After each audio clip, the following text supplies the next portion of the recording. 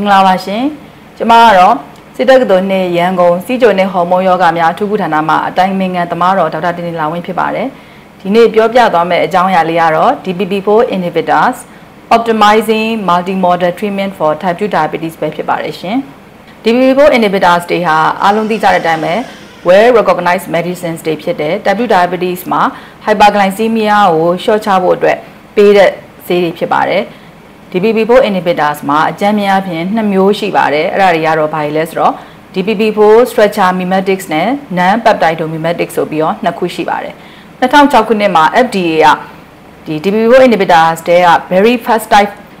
ကို approve လုပ်ခဲ့ပါတယ်အဲ့ဒါကတော့ဘာလဲဆိုတော့ structural mimetics DPP4 inhibitors တွေဖြစ်တယ်ဥပမာဖြင့်ပြောရလို့ရှိရင် sitagliptin, beldagliptin နဲ့ sasagliptin တို့ဖြစ်ပါတယ်နောက်တစ်ခုက 2017ခုနှစ်မှာပဲ non peptidomimetic inhibitors ဖြစ်တဲ့ဒုတိယအမျိုးအစားကို FDA က approve လုပ်ခဲ့တယ်သူတို့ရဲ့ examples တွေကတော့ elogliptin နဲ့ linagliptin ဖြစ်ပါတယ်ဒါဆိုရင်နောက်ဆွေးနွေးသွားမယ့်အကြောင်းအရာ mechanism of action ပဲဖြစ်ပါတယ်ဒီ DPP4 inhibitors တွေကဘလို့ကောင်းကျိုးပေးနိုင်တယ်လဲဆိုရင်ဘလို့နည်းအားဖြင့်ဒီစီချိုကိုချပေးနိုင်တယ်လဲဆိုလို့ရှိရင်သူက glucose dependent insulin secretion ကို enhancement ဖြစ်စေတယ် နောက်တစ်ခုက gastric emptying ကိုနှေးစေတယ် post prandial glucagon နဲ့ food intake ကိုလျော့ကျစေတယ်ဒါဆိုရင်တို့ရဲ့ mechanism ကိုပြောမယ်ဆိုလို့ရှိရင်ဒီ incretins ကနေစရပါမယ် incretins ဆိုတာကတော့ဒီ gut hormone တွေဖြစ်တဲ့ GLP-1 နဲ့ GIP hormones တွေဖြစ်တဲ့အဲ့ incretins တွေက incretins တွေရဲ့ action ကသူက insulin release ကို stimulate လုပ်ပြီးတော့ glucagon release ကို inhibit လုပ်ပေးခြင်းအပြင် blood glucose ကိုလျော့ကျစေပါတယ်ဒီ incretins တွေရဲ့ action တွေကိုနှောင့်ယှက်နေတာကတော့ DPP4 enzymes တွေဖြစ်ပါတယ်။ဒါကြောင့်မလို့ DPP4 enzymes တွေကို inhibit လုပ်တဲ့ DPP4 inhibitors drugs တွေဟာဆိုလို့ရှိရင် incretins ရဲ့ action ကို potentiate လုပ်ခြင်းအပြင် blood glucose level ကိုလျော့ကျပေးနိုင်ပါတယ်။အဲ့တော့ incretin effect ကို1960မှာစပြီးတော့မှ describe လုပ်ခဲ့ပါတယ်။ oral glucose ကိုလူတယောက်ဟာဒီအစားစားလိုက်လို့ရှိရင်ပါးစပ်ကနေပြီးတော့မှစားလိုက်ပြီးဆိုလို့ရှိရင်ဒီ oral glucose load ပေါ့နော် oral glucose ကနေပြီးတော့မှသူက plasma insulin ကိုသူက ဒီ significantly အများကြီးပို့ပြီးတော့မှ response ပို့ပြီးတော့မှထွက်စေတယ် intravenous glucose load နဲ့ဆိုလို့ရှိရင်ဒီ glucose ကိုဒီသွေးကြောတွေကနေပြီးတော့မှထိုးလိုက်တာနဲ့ glucose ကိုပါးစပ်ကနေပြီးတော့မှစားလိုက်တာနဲ့ဆိုလို့ရှိရင်ပါးစပ်ကစားတဲ့ glucose က insulin secretion ကိုပို့ပြီးတော့မှအားကောင်းစေတယ်အဲ့ဒါကို incretin effect လို့ခေါ်ပါတယ်အဲ့တော့အဲ့ဒီ incretin effect က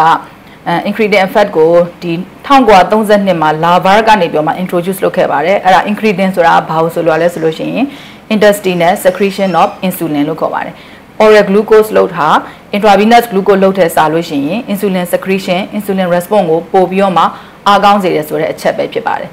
နောက်တစ်ခုက DPP4 inhibitors တွေမှာဒီ mechanism တွေအပြင်သူက pleiotropic effects တွေရှိပါတယ်ဒီမှာပြထားတဲ့အတိုင်းပဲသူကဒီခန္ဓာကိုယ်ရဲ့အစိတ်ပိုင်းအလုံးမှာ तू က action လုပ်ပြီးတော့မှ add လုပ်ပြီးတော့မှ तू ကသူ့ရဲ့ကောင်းကျိုးတွေကိုပေးနိုင်ပါတယ် brain မှာရှိတယ် stomach မှာရှိတယ် pancreas မှာရှိတယ် gut မှာလည်းလုပ်ပေးနိုင်တယ် liver adipose tissue brown adipose tissue skeletal muscle immune system kidney heart and vessel အားလုံးမှာ तू ကဒီ pleiotropic effects ကိုပေးနိုင်ပါတယ်အဲ့တော့ pleiotropic mechanism မှာဆိုလို့ရှိရင်သူ့မှာ classical mechanism နဲ့ non classical mechanism ဆိုပြီးတော့နှစ်မျိုးရှိပါတယ် classical mechanism မှာဆိုလို့ရှိရင် DPO inhibitors က peripheral plasma ထဲမှာ DPO inhibition လုပ်မယ်ဆိုလို့ရှိရင်သူကဒီ peripheral plasma ရှိတဲ့ GLP-1 ရဲ့ circulating activity ကို inactivation ကို prevent လုပ်ပေးခြင်းအပြင် insulin secretion ကိုအားပေးတယ် glucagon secretion ကိုလျော့စေတယ်နောက်တစ်ခုက non classical mechanism တွေအပြင်ဘယ်နေရာမှာလုပ်တယ်လဲဆိုလို့ရှိရင် gut မှာ inhibit လုပ်တယ် pancreatic islets မှာလုပ်တယ်နောက်တစ်ခုကကျတော့ other peptides ရဲ့ inactivation ကို prevent လုပ်ပေးတယ် ဒီနည်းအားဖြင့် gut မှာဆိုလို့ရှိရင်လည်း gut နဲ့ portal မှာရှိတဲ့ GLP-1 ကိုများစေတယ်ဒါကြောင့်မလို့ autonomic nerve activity ကိုများစေပြီးတော့ hepatic glucose production ကိုလျော့ကျစေတယ်နောက် pancreatic islets မှာဆိုလို့ရှိရင် insulin secretion ကိုအားပေးတယ် glucagon secretion ကိုနည်းစေတယ်နောက် islets inflammation ကိုနည်းစေတယ်အဲ့ဒီနည်းအားဖြင့် blood glucose ကိုလျော့ကျစေတယ်နောက်တစ်ခုကသူက other peptides ရဲ့ activity ကို inactive ဖြစ်မှာကိုသူက prevent လုပ်ပေးတယ် other peptides တွေကဘာတွေလဲဆိုတော့ GIP တို့နောက်တစ်ခုက SDF1 alpha တို့စတဲ့ peptide တွေကို prevent လုပ်ပေးပါတယ်ဒါဆိုရင်ဒီအားလုံးကျမတို့သိတဲ့အတိုင်းပဲဒီ diabetes ဖြစ်စေတဲ့အကြောင်းချက်တွေထဲမှာ ominous outdex နာမည်ကြီး၈ချက်ပေါ့နော်အဲ့ဒါတွေကတော့ဟိုလူတွေဟာဒီ impaired insulin secretion ဖြစ်လို့ရှိရင်လည်း diabetes ဖြစ်တယ် glucagon secretion pancreas ကနေပြီးတော့မှ glucagon secretion များလို့ရှင်လဲ diabetes ဖြစ်တယ်နောက်တစ်ခုက ဒီ intestine မှာဆိုလို့ရှိရင် incretin effect တွေနည်းသွားလို့ရှိရင်လည်း diabetes ဖြစ်တယ်နောက်တစ်ခုက peripheral glucose uptake တွေနည်းသွားလို့ရှိရင်လည်း diabetes ဖြစ်တယ်အဲ့တော့ဒီအချက်တွေ omnis outlet မှာဒီ DPP inhibitor ဘယ်လိုနေရာမှာသွားပြီးတော့မှ add လုပ်ပေးလဲဆိုလို့ရှိရင် pancreas မှာ impaired insulin secretion increased glucagon secretion နောက်တစ်ခုက decrease incretin effect နောက် brain မှာဆိုလို့ရှိရင် neurotransmitter dispatching ဒီနေရာတွေမှာသူက enable လုပ်ပေးလိုက်ခြင်းအပြင်ဒီအချက်တွေနဲ့ပတ်သက်ပြီးတော့မှသူကကောင်းလာစေတယ် နောက်တစ်ခုကဒီ liver မှာဆိုလို့ရှိရင် increase hepatic glucose production ကိုသူကတားလိုက်ခြင်းအပြင်သူက glucose level ကိုလျော့ကျစေတယ်နောက်တစ်ခုက muscle မှာဆိုလို့ရှိရင်လည်း decrease glucose uptake ကိုသူက enable လုပ်ပေးတယ်နောက်တစ်ခုက adipose tissue မှာဆိုလို့ရှိရင်လည်း lipolysis ကို increase ဖြစ်တာကိုတားပေးခြင်းအပြင်သူကဒီ blood glucose level ကိုနည်းစေပါတယ်ဒါကြောင့်မလို့ DPO inhibitor မှာ inhibitor တွေဟာဒီ diabetes ဖြစ်စေတဲ့ pathophysiology မှာ17ချက်ရှိတဲ့နဲ့10ချက်ကိုသူကကာဗာလုပ်နိုင်ပါတယ် pancreas မှာလုပ်နိုင်တယ်နောက်တစ်ခုက incretin effect ကိုရောကြစေ incretin effect မှာသူက effect လုပ်နိုင်တယ်နောက်တစ်ခုကနောက် glucagon များတဲ့နေရာမှာသူက effect လုပ်နိုင်တယ်အဲ့တော့ဒီ1 2 3ကခုနကဒီ insulin နဲ့ incretin နဲ့ glucagon နဲ့နေရာမှာသူက inhibit လုပ်ပေးခြင်းအပြင် DPO inhibitors တွေက glucose lowering mechanism ကိုပေးနိုင်တယ်နောက်တစ်ခုက ဒီ adipose tissue ရဲ့ liver ရဲ့ muscle မှာဆိုလို့ရှိရင် anti inflammatory action ကိုဟိုပေးခြင်းအပြင်သူကကောင်းကျိုးကိုရစေပါတယ်ဒါကြောင့်မလို့ diabetes mellitus ကိုဖြစ်စေတဲ့ pathophysiology 17ချက်မှာ10ချက်လောက်ကာပါဖြစ်နေအောင်တွေ့ရပါတယ်ဒါဆိုရင် DPO inhibitors တွေရဲ့ clinical usage တွေကဘာတွေလဲဆိုတော့ပြောချင်မှာအဲ့အကြောင်းကိုပြောမယ်ဆိုလို့ရှိရင်ဘယ်ချိန်မှာ introduce လုပ်ခဲ့တယ်လဲသူ့ရဲ့ pharmacokinetics နဲ့ pharmacodynamics ကဘာတွေလဲဆိုတာကိုဆွေးနွေးသွားပါမယ် efficacy နဲ့ safety ကိုဆွေးနွေးသွားပါမယ် နောက် DPO inhibitors တွေကို current guideline မှာဘယ်လိုနေရာတွေမှာပါနေတယ်လဲဆိုတာကိုဆွေးနွေးသွားပါမယ်နောက် glycemic management အပြင်တခြားဘယ်နေရာတွေမှာ role ရှိသေးလဲဆိုတာကိုဆွေးနွေးသွားပါမယ် clinical users of DPO inhibitors တွေကိုပြောရလို့ရှိရင်ဒီ FDA ကနေပြီးတော့မှ approve လုပ်ထားတဲ့ gliptins တွေကတော့ sitagliptin, sasagliptin, linagliptin, alogliptin တွေဖြစ်ပါတယ် European Union နဲ့ဂျပန်ကနေပြီးတော့မှ approve လုပ်ထားတဲ့ gliptins တွေကတော့ beta-gliptin and anagliptin, teneligliptin, trilagliptin နဲ့ omarigliptin တို့ဖြစ်တယ်။ကိုရီးယား approve လုပ်ထားတာကတော့ gemigliptin နဲ့ evogliptin ဖြစ်တယ်။ Russia FDA က approve လုပ်ထားတာကတော့ gosogliptin ဖြစ်ပါတယ်။မြန်မာပြည်မှာရတဲ့ gliptins တွေကတော့ sitagliptin, linagliptin နဲ့ beta-gliptin, teneligliptin တို့ဖြစ်တယ်။ဒီ government ကနေပြောမှ supply လုပ်တဲ့ gliptin တစ်ခုရှိပါသေးတယ်။အဲ့ဒါတော့ sasagliptin ဖြစ်ပါတယ်။ now gliptin stay ဟာဆိုလို့ရှိရင်တို့ရဲ့ structural class ပေါ်မှာမူတည်ပြီးတော့မှကွဲပြားမှုရှိတယ်။နောက် metabolism ပေါ်မှာမူတည်ပြီးတော့မှကွဲပြားမှုရှိတယ်။ renal ကနေ extrude လုပ်တာလား။နောက်တစ်ခုကဒီ kidney ကနေပြီးတော့မှ excrete လုပ်တာလားဆိုတော့ပေါ်မူတည်ပြီးတော့ကွဲပြားမှုရှိပါတယ်။နောက်တို့ရဲ့ elimination half life ပေါ်မှာမူတည်ပြီးတော့ကွဲပြားမှုရှိကြတယ်။ target selectivity နဲ့ effective dosage ပေါ်မူတည်ပြီးတော့ကွဲပြားမှုရှိကြပါတယ်။တို့ရဲ့ pharmacodynamics နဲ့ pharmacokinetics ကိုလေ့လာကြည့်မယ်ဆိုလို့ရှိရင်ဒီ gliptins အားလုံးဟာဆိုလို့ရှိရင် once or twice daily တောက်လို့ရပါတယ်ပြီးတော့သူတို့ဒီ once weekly administration လည်းရှိပါတယ်နောက်တစ်ခုကသူတို့ကဆိုလို့ရှိရင်သူတို့ရဲ့ action ကဘယ်လိုဖြစ်လဲဆိုတော့ fasting ရော postprandial hyperglycemia ကိုရောရောကြစေနိုင်ပါတယ် hypoglycemia နဲ့ပတ်သက်လို့ရှိရင် low risk ပဲရှိပါတယ် weight ကိုတော့ neutral ဖြစ်စေပါတယ်ပြီးတော့သူကတခုတည်းတော့၎င်းဒါမှမဟုတ်ရှင် metformin နဲ့ add-on တော့၎င်းသုံးလို့ရပါတယ် monotherapy အနေနဲ့လည်း efficient ဖြစ်တယ် other glucose lowering agents တွေနဲ့လည်း combination သုံးလို့ရပါတယ် နောက်သူက uh, significant inhibition of plasma DPO activity ကို within 5 minutes of administration မှာရနိုင်ပါတယ်ပြီးတော့သူက with or without regard to food ဒီအစာနဲ့ပဲဖြစ်ဖြစ်အစာမပါဘဲနဲ့ဖြစ်ဖြစ်တောက်လို့ရပါတယ်ဒါတွေကတော့ဒီ DPO inhibitors တွေရဲ့ characteristic တွေကိုနှိုင်းယှဉ်ပြီးမှပြထားပါတာပါခုန alogliptin, linagliptin, sasagliptin, sitagliptin နဲ့ betagliptin အားလုံးထဲမှာသူတို့ရဲ့ half life တွေ A1C ဘယ်လောက်ထိ reduce လုပ် reduce လုပ်ပေးနိုင်တယ်လဲသူတို့ရဲ့ metabolism တွေကဘာတွေလဲ elimination route တွေကိုနှိုင်းယှဉ်ပြီးမှပြထားခြင်းဖြစ်ပါတယ်ဒီထဲမှာဆိုလို့ရှိရင် A1C ကတော့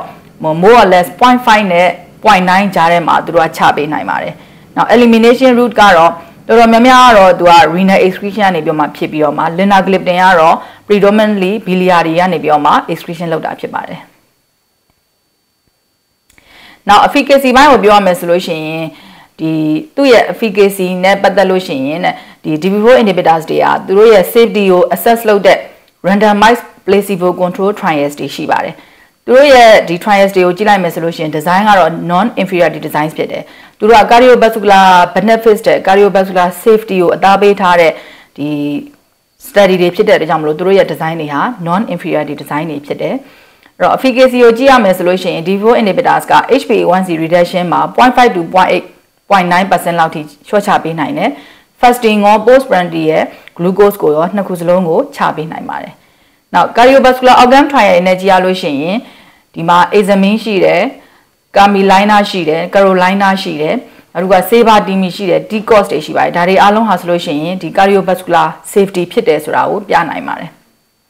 အဲ့တော့ဒီ clinical trials တွေကိုကြည့်ချင်းအပြင်ဘာရလဲဆိုတော့သူတို့ဟာ cardiovascular safety ဖြစ်တယ် multiple study မှာ DPO inhibitor တွေက cardiovascular safe ဖြစ်တယ် type 2 diabetes တွေမှာဆိုလို့ရှိရင် second line therapy အဖြစ်အဲသုံး safely သုံးနိုင်တယ်ဆိုတာကိုတွေ့ရတယ်နောက်တစ်ခု hypoglycemia ကိုရှောင်နိုင်တယ်ဆိုတာကိုတွေ့ရပါတယ်နောက်တစ်ခုဒီ Greece မှာလုပ်ထားတဲ့ real data နဲ့ empirical analysis ကိုကြည့်မယ်ဆိုလို့ရှိရင်ဒါကတော့2018မှာဒီ patients တွေကို diabetes patient တွေမှာဒီ percentage ကိုကြည့်လိုက်တဲ့အချိန်မှာ DPO inhibitors တွေက GLP-1 တို့ SGLT2 inhibitor တို့နဲ့ နှိုင်းယှဉ်လို့ရှိရင်သူက43.4%လောက်သုံးထားတာကိုတွေ့ရပါတယ်။ဒါကြောင့်မလို့ဒီသူ့ရဲ့လွန်ခဲ့တဲ့ဒီဆယ်စုနှစ်တစုလုံးမှာ anti diabetes agents တွေထဲမှာ DPO inhibitor ဟာဒီကြီးမားတဲ့ large proportion အနေနဲ့ second choice of anti diabetes agent အနေနဲ့သုံးထားရဲဆိုတာကိုတွေ့ရပါတယ်။နောက်တစ်ခုက safety issue ပေါ့နော် safety issue ကိုကြည့်မယ်ဆိုလို့ရှိရင်လည်းဒီ recent meta analysis randomized clinical control trials တွေမှာဆိုလို့ရှိရင်ဘာကိုပြလဲဆိုတော့ DPO inhibitors တွေဟာ pancreatitis တို့ pancreatic cancer တို့ကိုဖြစ်တယ်ဆိုတဲ့ association ကိုမရှိဘူးလို့ပြပါတယ် association ကို association ရှိတယ်လို့မပြဘူးဆိုတော့ safety ဖြစ်တယ်ပေါ့နော် pancreatitis နဲ့ pancreatic cancer မဖြစ်စေပါဘူးပြီးတော့သူက hypoglycemic risk ကိုမများစေဘူးပြီးတော့ weight ကို neutral ဖြစ်စေတယ်တခြား side effects တွေက minor နဲ့ reversible ဖြစ်ပါတယ်အဲ့ဒါတွေကဘာလဲဆိုလို့ရှိရင် gastrointestinal adverse event တွေ flu like symptom တွေကဆိုလို့ရှိရင် minor ပဲဖြစ်ပါတယ် reversible လည်းဖြစ်ပါတယ်နောက် ဒီမှာကျတော့ elderly patient တွေမှာဒီ home care setting နဲ့ nursing home တွေမှာရှိတဲ့ elderly patients တွေမှာဒီ DPO inhibitor ကို prescribe လုပ်လိုက်တဲ့အချိန်မှာ Germany မှာလုပ်ထားတဲ့ study တစ်ခုမှာကျတော့ elderly patient တွေမှာကျတော့တဲ့ DPO inhibitor တွေကိုသုံးစွဲမှုပိုပြီးမှများလာတယ်ဆိုတာကိုတွေ့ရတယ်ဘလောက်ကနေဘလောက်ထိများလာလဲဆိုရင်2017နဲ့2015ကြားမှာ13.4%နေပြီးတော့19.8%ထိတက်လာတာကိုတွေ့ရတယ်သူ့ရဲ့ရလဒ်ကိုကြည့်လက်ကြည့်မယ်ဆိုလို့ရှိရင် DPO inhibitors တွေဟာ ဒီ elderly patients တွေမှာ type 2 diabetes ရှိပြီဆိုလို့ရှိရင်အခြားသော drugs တွေနဲ့စာလို့ရှိရင် good safety profile ရှိတယ်ဆိုတာကိုပြနိုင်ခဲ့ပါတယ်အဲ့တော့ hyperglycemia မှာ hyperglycemia မှာဒီ algorithm တွေမှာ therapeutic algorithm တွေမှာ DPP4 inhibitor ကိုဘယ်လိုသုံးသလဲဆိုတော့ DPO inhibitors တွေမှာဒီအခုလောလောဆယ် AAC guideline မှာဆိုလို့ရှိရင်သူက monotherapy အနေနဲ့လည်းသုံးလို့ရတယ်။နောက် dual therapy metformin ပေါ်မှာ add on အနေနဲ့လည်းသုံးလို့ရပါတယ်။ dual monotherapy မှာဆိုလို့ရှိရင်သူ့ကို first line agent အနေနဲ့လည်းသုံးလို့ရတယ်လို့နောက် second line agent အနေနဲ့လည်း dual therapy မှာ next to metformin မှာသုံးလို့ရတာကိုတွေ့ရပါတယ်။နောက်တစ်ခုကတော့ ADA ပေါ့နော် ADA မှာဆိုလို့ရှိရင်လည်းဒီ ADA မှာ next to metformin မှာဆိုလို့ရှိရင် DV4 ရဲ့ role က ASCVD predominant ရှိတဲ့သူတွေနဲ့ CKD predominant ရှိတဲ့သူတွေမှာဆိုလို့ရှိရင် next to GLP-1 SGLT2 inhibitor သုံးပြီးလို့ရှိရင် DP4 inhibitor ကိုသုံးနိုင်တာကိုတွေ့ရပါတယ်နောက်တစ်ခုက compelling indications တွေရှိတယ်ဥပမာ hypoglycemia ကိုရှောင်ကျင်တယ်ဆိုလို့ရှိရင် DP4 inhibitor ရဲ့ role ကရှေ့ရောက်လာတာကိုတွေ့ရပါတယ်နောက်ဒီ weight loss နဲ့ဒီ minimize weight weight gain နဲ့ weight loss ကိုအသားပေးခြင်းတဲ့သူတွေမှာရယ်နောက်တစ်ခုက cause ကဒီကုန်ကြစရိတ်က major issue ဖြစ်နေတဲ့ patient တွေမှာဆိုလို့ရှိရင်လည်း D4 inhibitors တွေဟာဒီ သူတို့ရဲ့ဒီသူတို့ရဲ့ role ဟာဆိုလို့ရှိရင် third line or သို့မဟုတ် second line third line fourth line မှာထားလို့ရတယ်ဆိုတာကိုတွေ့ရပါတယ်ဒါကတော့မြန်မာကန်လိုင်းဖြစ်ပါတယ်မြန်မာကန်လိုင်းမှာ treatment algorithm မှာအရင်ဆုံး lifestyle modification patient အားလုံးကိုပေးမယ် glycemic management ကိုကြည့်မယ်ဆိုလို့ရှိရင် HbA1c လိုက်ခွဲပြီးတော့မှကုလို့ရတာကိုတွေ့ရတယ် HbA1c less than 8.5အောက်ဒါမှမဟုတ်လို့ရှိရင် fasting က150အောက် RBS က250အောက်ဆိုလို့ရှိရင် monotherapy ကိုသုံးပါမယ် HbA1c 8.5နဲ့10ကြားဆိုလို့ရှိရင် dual combination ကိုသုံးမယ် HbA1c 10ကျော်လို့ရှိရင် triple combination ကိုသုံးမယ်အဲ့ဒီမှာဆိုလို့ရှိရင်လည်း DPP4 inhibitor ကိုဘယ်လိုနေရာမှာသုံးသလဲဆိုလို့ရှိရင်ပထမဆုံးအနေနဲ့ metformin သို့မဟုတ် saponine urea ကို first line အနေနဲ့ရွေးလိုက်မယ် control မရသေးဘူးဆိုလို့ရှိရင်နှစ်ခုပေါင်းလိုက်မယ်အဲ့ဒီ metformin saponine urea နဲ့မရသေးဘူးဆိုလို့ရှိရင် that that agent အနေနဲ့ DPP4 သို့မဟုတ် SCL2 inhibitor ကိုသုံးတာတွေ့ရပါတယ်။ဒါကြောင့်မလို့ဒီမြမရဲ့ current clinical practice guideline မှာလည်းပဲ DPP4 inhibitor ဟာ ဒီ next to metformin မှာ that or သို့မဟုတ် second or third line မှာသုံးလို့ရတာကိုတွေ့ရပါတယ်အဲ့တော့ဒီ lifestyle modification metformin ပြီးလို့ရှိရင်အခုဒါမြမ guideline မှာဆိုလို့ရှိရင်လူလူတွေကိုကိုကုတဲ့လူနာတွေရဲ့ target ကိုကြည့်လိုက်မယ် cost နဲ့ access ကိုကြည့်ချင်တာလား overweight obese ရှိလို့သုံးကျင်တာလားဒါမှမဟုတ်လို့ရှိရင် increase risk of hypoglycemia ကိုရှောင်ကျင်တာလားအဲ့လိုလူတွေဆိုလို့ရှိရင် DB4 ကဘယ်နေရာမှာရှိလဲပေါ့နော် DB4 ကဒီနေရာမှာဆိုလို့ရှိရင် cost နဲ့ အဲဒီ overweight ဆိုလို့ရှိရင်တော့ DB4 က third line လောက်မှာရှိပါတယ် risk of hypoglycemia ကိုရှောင်ကျင်တယ်ဆိုလို့ရှိရင်တော့ DB4 ကို next to metformin မှာစပြီးတော့မှသုံးလို့ရတာကိုတွေ့ရပါတယ်နောက်တစ်ခုက CKD stage 1 2 CKD stage 1 2 3နဲ့ CKD stage 4 5မှာဆိုရင်ရော DB4 inhibitor ဘယ်နေရာမှာရှိလဲဆိုတော့1 2မှာဆိုလို့ရှိရင်1 2 3မှာဆိုလို့ရှိရင်တော့ next to metformin ပြီးလို့ရှိရင်သူကဒီတတိယနေရာလောက်မှာရှိတယ် နောက် stage 4နဲ့5မှာဆိုလို့ရှိရင်တော့ DB4 inhibitor ကိုသူက first line အနေနဲ့တော့မှသုံးလို့ရပါတယ်ဥမာအဖြစ်ဒီ linagliptin ဆိုလို့ရှိရင် next to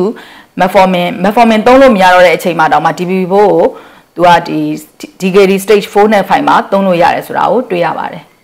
နောက်တစ်ခုက high risk of heart failure high risk CVD တွေရှိနေတယ်ဆိုလို့ရှိရင် DV4 inhibitor ကိုဘယ်နေရာမှာ role ရှိလဲဆိုလို့ရှိရင် next to metformin နဲ့ SGLT2 GLP1 ပြီးလို့ရှိရင် DV4 inhibitor ကိုသုံးလို့ရတယ်ဆိုတာကိုတွေ့ရပါတယ်ဒါကြောင့်ဒီ frail elderly population မှာ DV4 inhibitors က low risk of hypoglycemia ရှိတယ်ဆိုတာကိုတွေ့ရတယ်။ Now advanced renal failure ရှိနေတဲ့လူတွေမှာဆိုလို့ရှိရင်လည်း hypoglycemic risk ကိုလျှော့ကျပြီးတော့မှရော့ကျစေနိုင်တဲ့အတွက်ကြောင့်မလို့သူကတခြား oral hypoglycemic agent တွေထက် safe ဖြစ်တာကိုတွေ့ရပါတယ်။နောက်တစ်ခုက DPO inhibitor တွေကို ဒီ type 2 diabetes မှာပဲသုံးလို့ရသလားဆိုတော့မဟုတ်ပါဘူး။တခြားသောသူ့ရဲ့ pleiotropic mechanism ကြောင့်မလို့အခြားသောဒီ beyond glycemic management မှာလည်းပဲသုံးလို့ရပါတယ်။ဘယ်နေရာမှာသုံးလို့ရလဲဆိုလို့ရှိရင် renal protective effects အနေနဲ့ဒီ DPO inhibitor ကိုသုံးလို့ရပါတယ်။ဘာကြောင့်မလို့ kidney protective effect ရှိနေတယ်လဲဆိုတော့သူတို့ဟာဒီ innate immunity နဲ့ inflammation မှာ modulation modulation လုပ်နိုင်တဲ့အကြောင်းမလို့ kidney protective mechanism တွေရှိတယ်အဲ့တော့ plausible underlying mechanism တွေကဘာတွေလဲဆိုတော့ तू ကဒီ inflammatory chemokines တွေ cytokines တွေ immune cells တွေမှာ express လုပ်ထားတဲ့ DBB4 ကို तू က degrade လုပ်နိုင်တဲ့အတွက်ကြောင့်ရယ်နောက်တစ်ခုက oxidative stress နဲ့ fibrosis ကို attenuation လုပ်နိုင်တဲ့အတွက်ကြောင့်ရယ်နောက်တစ်ခုက kidney kidney မှာရှိတဲ့ cellular apoptosis ကိုတားနိုင်တဲ့အတွက်ကြောင့်မလို့သူက renoprotective effect ရပါတယ် ဒါကတော့ခုနဟာလေးကိုပုံနဲ့ရှင်းပြထားတာပါ incretin based therapy က cyclic AMP စတဲ့ဒီ inflammatory mediator တွေကိုများစေတဲ့အတွက်ကြောင့်မလို့သူကဒီအဲ oxidation ကိုနည်းစေတယ်နောက်တစ်ခုက oxidate oxidative process ကိုရောကြစေနိုင်တဲ့အတွက်ကြောင့်မလို့ visualization ကိုအားပေးတယ်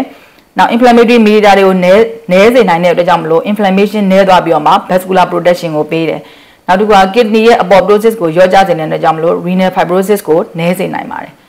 အဲ့တော့ renal protective effect ကိုအဲ systematic review နဲ့ meta analysis လုပ်လိုက်တဲ့အချိန်မှာ तू ကဒီ development of development or progression of albumin urea ကို DPP4 inhibitor တွေကရောကြစေနိုင်တယ်လို့ထွက်ထွက်ထားပါတယ်အဲ့ study တွေကနေပြီးတော့နောက်တစ်ခု DPP4 inhibitor နဲ့ NAFLD မှာဆိုရင်ဘယ်လိုထွက်ထားလဲဆိုတော့ DPP4 inhibitors တွေဟာဒီ hepatic insulin resistant နဲ့ liver steatosis ကိုရောကြစေပါတယ်။ cell တွေမှာ hepato hepatocyte specific overexpression of DPP4 ဟာဆိုလို့ရှိရင် hepatic insulin resistant နဲ့ liver steatosis ကိုဖြစ်စေတယ်။အဲ့ဒီအချိန်မှာ DPP4 inhibitor ကိုပေးလိုက်တဲ့အချိန်မှာ hepatic insulin resistance နဲ့ liver steatosis ကိုရောကြစေနိုင်ပါတယ်။ဒီဟာကိုမူတည်ပြီးတော့မှဘယ်ဆေးကိုသုံးထားလဲဆိုလို့ရှိရင် omarigliptin ဟို weekly administration ပေးလိုက်တဲ့အချိန်မှာ hepatic insulin resistant ကိုရောကြသွားစေနိုင်တဲ့အတွက်ကြောင့်မလို့ NAFLD နဲ့ NASH တွေမှာဆိုလို့ရှိရင်အကျိုးရှိတယ်ဆိုတဲ့ study ကိုတွေ့ထားပါတယ်။ နောက်တစ်ခုက DPO inhibitor နဲ့ pre-diabetes ပေါ့ pre-diabetes မှာသုံးလို့ရလားဆိုတော့ study တွေကိုလိုက်ရှာကြည့်လိုက်တဲ့အချိန်မှာကျတော့ New England Journal of Medicine မှာဗာပြောထားလဲဆိုတော့ဒီ sitagliptin ကို2.4 years ပေးလိုက်တဲ့အချိန်မှာတဲ့ pre-diabetes patient တွေကို2.4 years ပေးလိုက်တဲ့အချိန်မှာ other placebo နဲ့ placebo drugs တွေနဲ့စာလို့ရှိရင်သူက pre diabetes ကနေပြီးတော့မှ type 2 diabetes ကိုပြောင်းနိုင်တဲ့ risk က53%ရော့ကျသွားတာကိုတွေ့ရတယ်။ Now diabetes scale journal မှာလောက်ထားတဲ့ RCT က ဘာပြောလဲဆိုတော့ DPP4 inhibitors တွေက beta-gliptin ကိုနှစ်နှစ်ပေးလိုက်တဲ့အချိန်မှာတဲ့ placebo နဲ့နှိုင်းယှဉ်လို့ရှိရင် type 2 diabetes ဖြစ်ပွားနှုန်းဟာဖြစ်ပွားနှုန်းရော့ကျတာကိုတွေ့ရပါတယ်။ဒါပေမဲ့လောလောဆယ်မှာတော့ pre diabetes အတွက် treatment မှာ currently မှာတော့မသုံးသေးပါဘူး။နောက်တစ်ခုက DPO inhibitors နဲ့ COVID-19 infection ပေါ့နော်အဲ့တော့ COVID-19 SARS virus ဟာ ဒီခန္ဓာကိုယ်ထဲဝင်လာပြီဆိုလို့ရှိရင် DPP4 DPP4 နဲ့ CD26 ကိုသွားပြီးတော့ bind လုပ်ပြီးတော့ respiratory tract ထဲကိုဝင်တယ်ဝင်ပြီးတော့ SARS-CoV virus နဲ့ DPP4 နဲ့ပေါင်းပြီးတော့ဒီ cells တွေကို hijack လုပ်ပြီးတော့မှ virulent activity ကိုပြတယ်ဒါကြောင့်မလို့ DPP4 ဟာ SARS-CoV virus infection ရဲ့အဲဒီ infection မှာ essential role အနေနဲ့ inflammatory action မှာပါနေတာကိုတွေ့ရပါတယ်အဲ့တော့ DPP4 inhibition လုပ်လိုက်မယ်ဆိုလို့ရှိရင်ဘာတွေကောင်းကျိုးရလဲဆိုတော့ viral entry နဲ့ replication ကိုရောကြပြီးတော့မှ SARS-CoV virus ရဲ့ viral load ကိုရော့ပြီးတော့ severity နည်းသွားမယ်နောက်တစ်ခုက pro inflammatory cytokine release နဲ့ cytokine storm inflammation ကိုရောကြစေတဲ့ကြောင့်မလို့ covid-19 ရဲ့ severity ရော့သွားမယ် glucagon-like peptide တွေများလာပြီးတော့ glucose control ကောင်းလာတဲ့ကြောင့်မလို့ covid-19 ရဲ့ severity ကရော့ကျသွားမယ်ဒါလည်းမကသေးပါဘူး DPO inhibition လုပ်လိုက်ခြင်းဟာ DPO နဲ့ CD26 ရဲ့ဒီ T cell activity မှာရှိတဲ့ role ကိုရောကြစေနိုင်တဲ့အတွက်ကြောင့်မလို့ဒီ infection ဝင်တဲ့နှုန်းကိုလည်းရောကြစေပါတယ် ဒါဆိုရင်ဒီ DPO inhibitor ရဲ့တချို့သော beneficial effects တွေအကြောင်းကိုပြောပြခြင်းပါတယ်အဲ့ဒါတွေကဘာတွေလဲဆိုတော့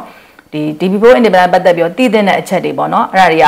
သူ့ကိုမသုံးရမယ့်နေရာတွေဘယ်လိုနေရာတွေလဲပေါ့ type 1 diabetes မှာဆိုရင်မသုံးပါဘူး severe renal impairment ရှိရင်မသုံးဘူး pregnancy နဲ့ breastfeeding မှာမသုံးပါဘူး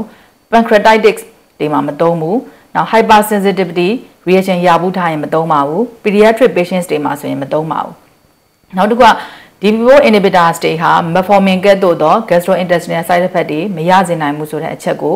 ဟိုသိလို့ရပါတယ်သိသင့်ပါတယ်နောက် lactic acidosis ဖြစ်တဲ့ risk နည်းတယ်ဆိုတာကိုသိသင့်ပါတယ်နောက် DPO inhibitors တွေမှာ cardiovascular health ပေါ်မှာ beneficial effect ရှိကောင်းရှိနိုင်ပါတယ်ဒါပေမဲ့အဲ cardiovascular safety trial တွေပဲရှိပါသေးတယ် cardiovascular benefit trial တွေတော့မရှိသေးပါဘူးအဲဒါကြောင့် DPO inhibitor နဲ့ပတ်သက်လို့ရှိရင်